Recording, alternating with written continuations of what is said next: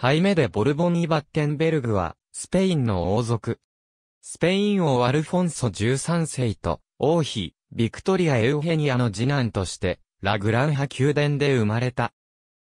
幼い頃に受けた、手術のために老和となり、1933年6月に、自身と子孫のスペイン王位継承権を放棄することを表明した。その際、不王によって、セゴビア公の称号を授けられた。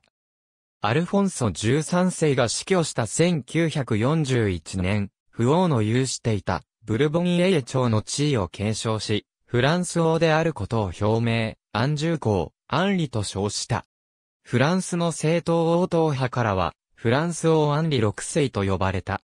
1935年、フランス貴族出身のエマニュエル・ド・ダンピエールと結婚、西を設けた。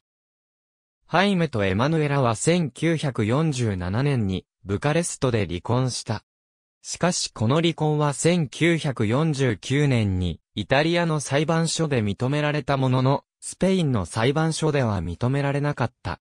1949年8月、ハイメは、インスブルックで離婚歴のある歌手シャルロッテ・ティーデマンと再婚した。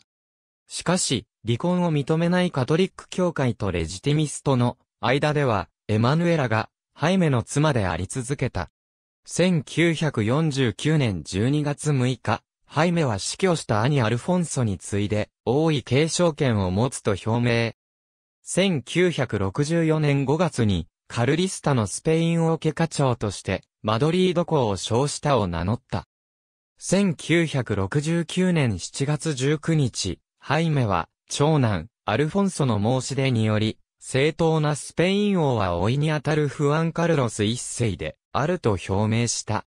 しかし、フランス王の王位継承権については、放棄したことを生涯表明せず、引き続き、ハイメとその子孫が、フランス王の王位請求者であり続けた。